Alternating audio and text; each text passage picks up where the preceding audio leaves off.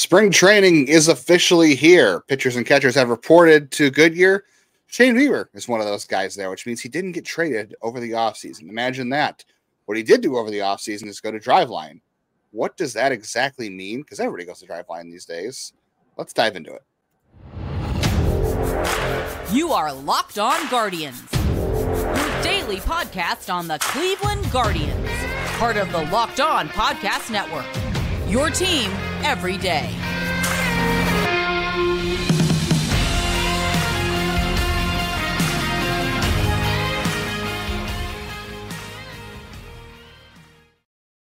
Hello, everyone, and welcome to the show. Today's episode is brought to you by FanDuel. Make every moment more. New customers join today, and you'll get $150 in bonus bets if your first bet of $5 or more wins. Visit FanDuel.com slash logged on to get started.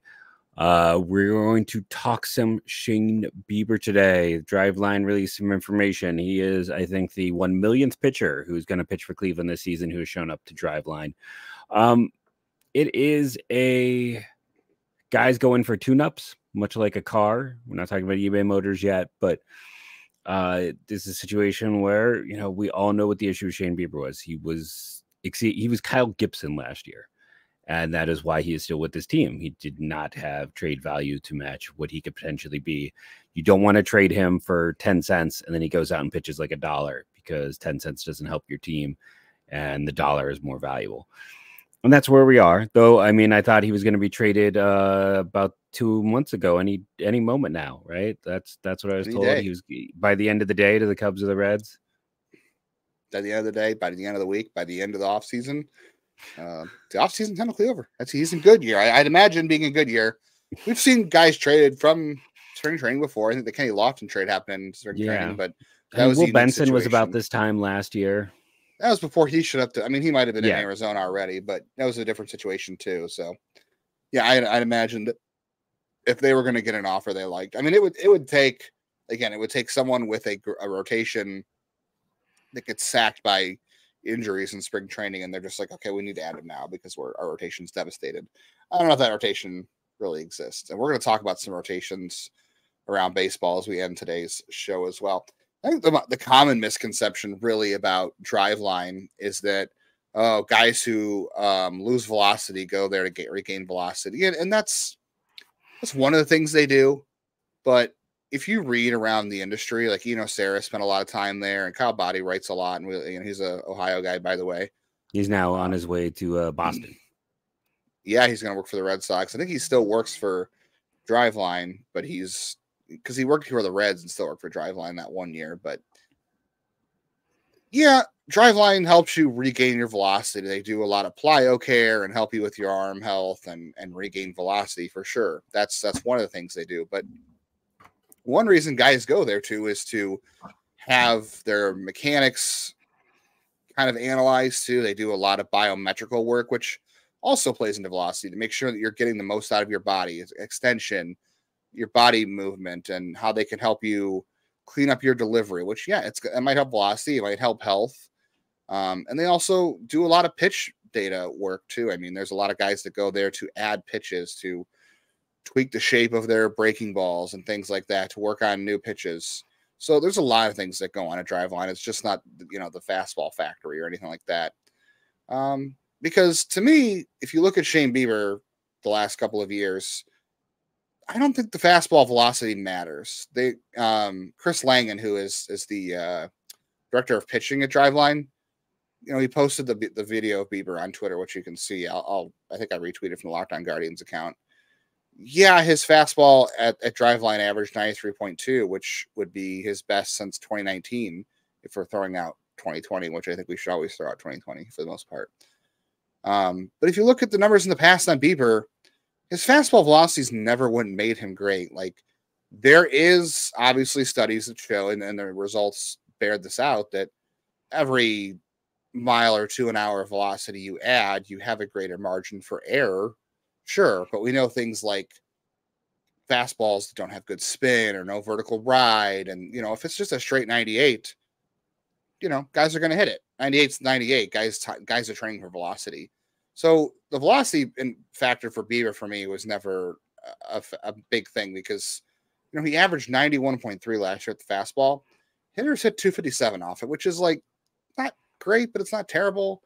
They slugged 434 off it again, not great, not terrible. If you look at the rest of his years against his fastball, that's about normal for him. Like throwing out 2020, the best year his fastball has ever had in terms of you know hitters facing it um, was was 2021 when hitters hit 272 480 so actually i'm sorry 2019 it was 231 440 so last year was kind of on par with what he's normally done. In 2019 he was an all-star and he threw 93.1 so if he gets back to that which that's close to the numbers that they showed at Driveline for his fastball that's great. But his fastball didn't get hammered last year. What, what happened to him was times through the order, lack of a third pitch, health. That's the biggest thing here. Is I, I don't know how much how much can Driveline improve your health? Like you can go there and you can clean up some biomechanics that might help and you know plyo care maybe there's some some things you can do for body care and arm care that can help but that's the thing for me with bieber it's not just the fastball velocity and we can get to the curveball metrics in a second too, because that's a big one. But it's health, right? Like how much does drive line improve health? We don't have anything on that, do we? Because that's really what it is for Bieber. It's health and the return of that curveball to me is well, what it's just going to make him different. You know, it's the ability to miss bats, which which went away last year. It's like the the guys. I get that they weren't hitting for a high average, but they also were contacting on the fastball. He wasn't able to. There was no uh, swing and miss when it came to just about any of his pitches. And it's, you know, it, he became a different pitcher last year. And, and health is a big deal. It's two of the last three years. He's missed significant time with injury. And it very much seems like a case that ever since that first injury, he has been scared to death to use that curveball. And we have not seen it. And remember, there's been two two missing half a year with injury and no surgeries or anything. It's just been rest and heal. So I don't know if he just doesn't trust the heel or what's going on. We'll see what happens. And I mean, here's the exciting thing: if if Bieber goes out and pitches really well, they you know, and they're playing well, great. This could help them get to the postseason. Uh, if he goes out pitches really well and the rest of the team doesn't do their job because hey, this was a bottom 10 team in baseball last year and they have added nothing to their roster, then you know you have a valuable trade asset. And the one thing we've seen is frankly, you get more value for pitching at the deadline than you do now. And and I know people talk about draft pick compensation. Problem with draft pick compensation is it doesn't matter to most teams. Like the Dodgers get a fourth for Bieber if they trade for him now as opposed to midseason, and the fourth is not as valuable as the uh, six million dollars they save against the luxury tax. So there's so many moving parts in these deals. Uh, and now that it's not a first round pick for every player you offer the qualifying offer to, the value is not as big of a deal. So I honestly think that a you know you look at Chase Burns, the fact that he's making close to 20 million, I want to say, like I bet Baltimore got more if they waited. Chase I, Burns, I, he hasn't been drafted yet. Chase Burns, uh, Corbin Burnes, Corbin. you know, wrong C Burns, but uh, know, I got to talk about Mark Wiley being the pitching coach next. But oh, um, but it's one of those things. It, you look at Jordan Montgomery, his name is up because of how he pitched in the postseason. He got almost as much as Burnes got last year at the deadline. Like it's a similar cost deal. Just minus we've, the draft pick. Yeah. Yeah. We've seen a lot of teams get similar value out of players, if not more. So listen, this is a situation that can you can only benefit from because you're not getting hardly anything from Bieber right now. I've said it before, and Cubs fans are like, go trade for him. I'm like, no, that's why Cleveland's not trading him, is because the value return is low. They're not going to give him away, and teams are not offering a lot. He's not free to a good home, but teams are acting like he is, and that's why he's still in Cleveland. So you hold on to him, you see if he can bounce back. This is all encouraging data. You like that he's going out. He's always been a tinkerer. He's always shown up with things he is working on. He is always messing around with things for some guys, that's a great thing. For him, uh, I don't know. I can't really say. It feels like a lot of those things have not really uh, turned into things of use. But if, this is great. He's going to a place. He's getting some additional coaching. He's working on some things. And I mean, if the, the curveball is arguably his best pitch when he is in peak condition, so if he comes back and he trusts it and he's willing to go to it, he could be an entirely different pitcher. Yeah, that's the that's the biggest two things. It's it's the health and that's the curveball, and those two things I think are intertwined because his curveball usage was never higher than it was in 2020, and we threw all that data out, but the, the percentages are there. In 2021, his curveball usage was his highest of all time, even higher than 2020 at 31.2%. It was his second most trusted pitch. And ever since then, that's when the first injury popped up, right? It Was 2021. And since then, he has just not gone to it. The percentage continues to decrease every year. So either it was a, a grip thing, you know, that was when they cracked down on the uh, spider tack and all that stuff, or it's just a, an elbow or shoulder comfort thing. All those guys that got cracked down on have found out a way to come back. Like we've seen them all. Yeah. Like Gerrit Cole, did he win the Cy Young? I can't remember. You know, so the big awards I don't really care about, so they go over my head pretty quickly. But it's like all those guys who are had the biggest accusations on him have all figured out ways to get around it. So if it was that, I feel like Pipeline would have let him back. know. Yeah, yeah. So I don't know. I mean, the return of the curveball is to me what makes the biggest difference. It's like, yeah, the metrics from Driveline say it's it's as good as it was in 2020, which it was a great pitch in 2020 regardless of whatever we think of the data. It was a great pitcher in 2021 when he used it when he was healthy.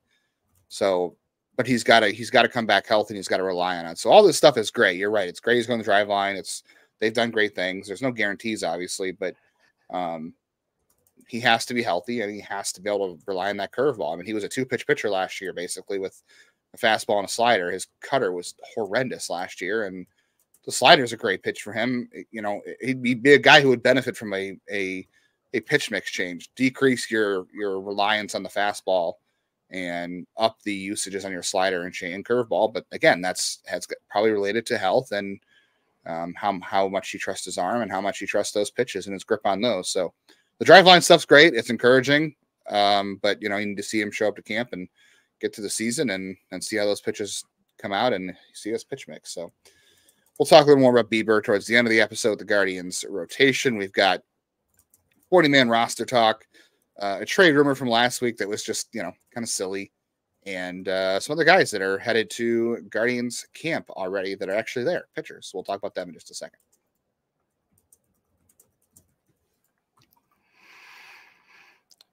Passion, drive, patience.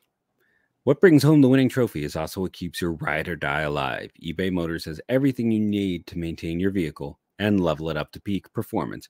From superchargers, roof racks, exhaust kits, LED lights, and more, whether you're into speed, power, or style, eBay Motors has got you covered. With over 122 million parts for your number one ride or die, you'll always find exactly what you're looking for. And with eBay Guaranteed Fit, your part is guaranteed to fit your ride every time or your money back. Because with eBay Motors, you're burning rubber, not cash. With all the parts you need at the prices you want, it is easy to turn your car into the MVP, the Silver Slugger, the Cy Young Award winner, the uh, Relief Pitcher of the Year, whatever that award may be, and bring home that win. Keep your ride or die alive at ebaymotors.com. Eligible items only, exclusions apply. eBay guaranteed fit only available to U.S. customers.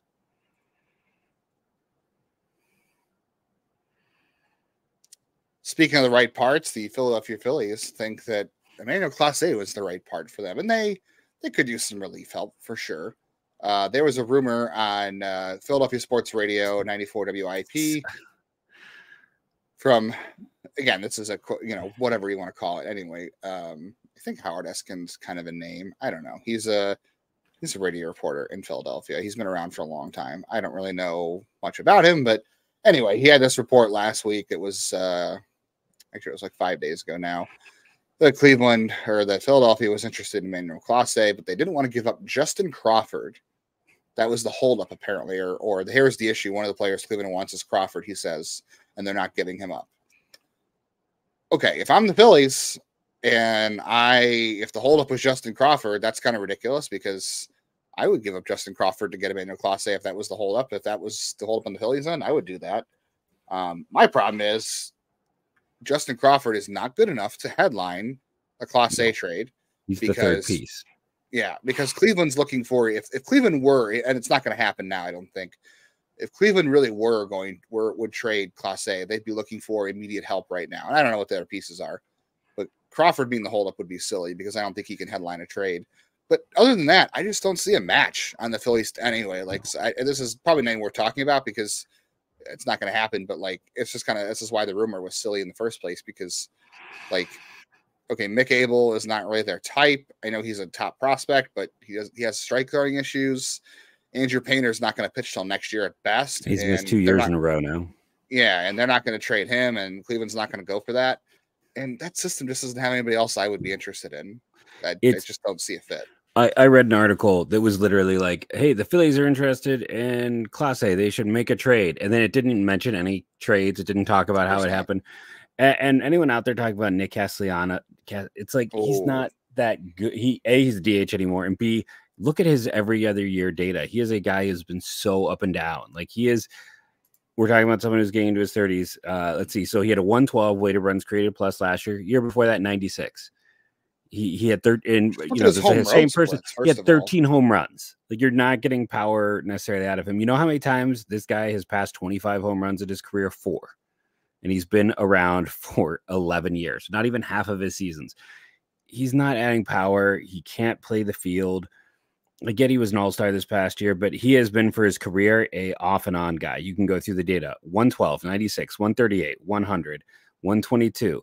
Like there's been this up and down with him. And guess what? This is the down year as he's entering more into his 30s. And I thought that was a, a silly statement from someone. Uh, yeah, Phillies minors are weak. It's extremely top heavy. Justin Crawford is not a top. He's barely a top 100 prospect if he is one. He he was solid in in low A a year ago. I mean, he's so far away. It's it's it, to me that felt like someone getting a bad rumor and running with it, and and that it was in fact like it was the silliest statement on so many sides. It makes no sense. Yeah. And if you look at you talk about your point about Nick Castellanos, by the way, had a lot of had some good years in Cincinnati, where again the ballpark is small. Yeah. His home road splits last year, 139 WRC plus at, at home. Philadelphia's ballpark is small. On the road, 80, 80. I mean, I know, I know we're desperate here sometimes for offense, but 80 is not much better than what Cleveland was doing out there last year, except for Myles Straw. Like 80 is not better than Will Brennan. It's not better than Ramon Laureano. Like it's if if even if it's not, I mean, we would take a hundred, right? We uh, but it's not a Yeah. hundred. So so, yeah, it was just a silly rumor, and I I don't see like you said someone felt like one of those rumors. Someone was like, oh yeah, we talked to Cleveland about Clase, and yeah, well, it's it's right up there with uh Moro Morosi's latest one. Like teams Oh. like Clase, teams teams would like to add Clase. Like I mean, he course they would. literally listed like eight teams, and then there was but there was no anything to it. It was just like I'm going to talk about the eight teams that could you. It's like baseball teams can use a good pitcher. Was pretty much his tweet.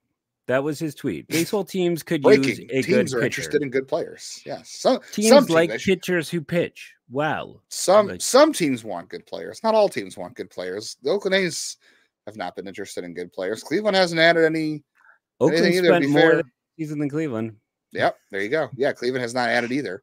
It's it's been Austin Hedges, and if you want to throw in Scott Barlow there, um, forty man situation. So we, this might take a little bit of time to dive into, but I've seen some stuff online about you know Cleveland's forty man roster is full, and Daniel Espino could be a guy they add to the sixty right away. Nope. to clear up a 40 man roster spot. And if we think that, you know, one of these relievers who came in on, or these pitchers who came in on a non roster invite, like, you know, uh, Tyler Beede or Beatty or, or uh, Tyler Zuber, Anthony Banda, Anthony Gose, or Carlos Carrasco, any of these guys they have signed to a non roster deal this offseason to a minor league deal. If they want to add them to the 40 man roster, yeah, they got to create space for him. Here's the thing though, the Spino, they I know it's full and it's you have to look around for some some moves to be made to do this, but when you put a guy in the 60 day IL, Major League 60 day IL, you start his service time. And Espino's not going to be ready to pitch until like June, July, you know, around there. I don't think Cleveland's giving him a half year of service time when he hasn't pitched in two years and starting that clock, especially with how special he could still be. They're not going to take that risk. So, and, and, you know, Kyle Manzardo, that thing too. He's not on the 40 man roster. If they want him to open the roster or open the year on the on the major league roster, he's not on the 40, and you have to create a spot for that. I just don't think Espino is going to be it. They've done this with some guys. Carlos Vargas, who was not Yes, very good. Dylan Baker. Dylan Baker, but- not. You know, these are guys who projected probably as relievers even when they did this. Like They were the the- last. They were the last guy on the roster, basically. Yeah. As much as I liked Vargas and, and Baker, I was big on times, Baker. Baker was, was a big too. guy for me back in the day. I liked them both at different times, but yeah, Those I were some lean years, the Dylan Baker years. Yeah, he he went to like the Dodgers one year, and they said in, in Dodgers camp he was throwing like 99. I was like, wow, how about that? Good for him. But then he never never made it, unfortunately. But yeah, I just don't see them putting Espino on the 60 day IL. I just don't see that proposition happening with, it- with him the- at this point. you still have points where you're overflowing, right? Like, you know, just looking at all these infielders, like maybe you decide it's time to get rid of a Tena or an Angel Martinez off the roster. We've talked about Jhonkensy Noel being in a weird situation with this. Angel team. Martinez is not getting DFA'd. Uh, Hunter Gaddis. I mean, I know he's a depth guy, but they've added a lot of other depth. He's someone who could be at risk right now. Uh, you know, they, they have some guys. There's some ways you can go with this. I, they could also try to make a trade like they did a year ago. Um, you can also just return Deyvison De Los Santos if it's like, hey, yeah, it's not going to happen. Um, but I, there, there's some ways to go. They're not going to accelerate the clock on a guy whose ceiling is the highest in your minor league system, who has the potential to be a legit number one. Endo story. Yeah. Yeah. They'll have to find other ways to do it, but I've, I've seen people talking about because the you know the Dodgers have already added guys to their 60 day They've got like they're five league guys, that they can Yeah. to their 60 But they're all but they're all major leaguers. They're not Yeah. prospects. Their clock's already started. Espino's is not, and they're just they're just not going to do that. I know there there are there is something to watch out for in the minors. They are doing IL restrictions this year, where you can only have a certain amount of guys on the IL in the minors because teams have just abused the heck out of this this in the minors. You just throw a guy in the IL to put him off the roster. Sometimes it's he's used got- for suspensions as well. Uh, Yeah. Guys would would do something and get suspended, and then they would end up on the IL. I, So I know multiple stories of that happening.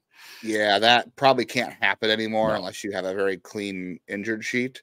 So uh, you know they're cracking down on that kind of stuff. So I, I can't imagine them. eh, They're going to have to put Espino on some kind of IL in the minors, obviously, but he is not going to be on the major league one, and um, he'll be on the minor league one. He'll take up a spot there. What is the ceiling of the Guardians rotation? I've seen I've seen some people also talk about um, MLB Network talking about the best rotations in baseball. Could Cleveland match that? There's a lot of things that we could talk about in terms of what the Guardians rotation could be. We're going to discuss that here next. Before we get to that, get buckets with your first bet on FanDuel, America's number one sports book.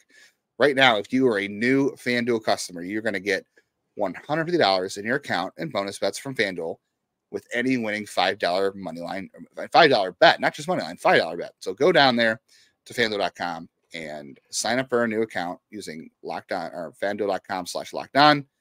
Place a $5 bet. And if that wins, that 150 bucks is going into your FanDuel account.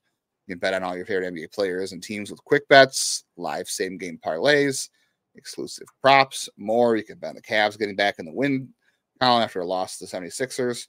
Or you could throw some money down on Jose Ramirez winning MVP. Shohei is not in the league anymore. Can he do it? Right now, the odds are plus 2,200. So throw down a dollar on Jose Ramirez and win yourself $22 come uh, October if he wins the MVP. Or do the NBA fast bets. Do those and get your $5 and uh, get that 150 bucks if that $5 bet wins. So visit fanduel.com slash lockdown and shoot your shot. FanDuel, official sportsbook partner of the NBA.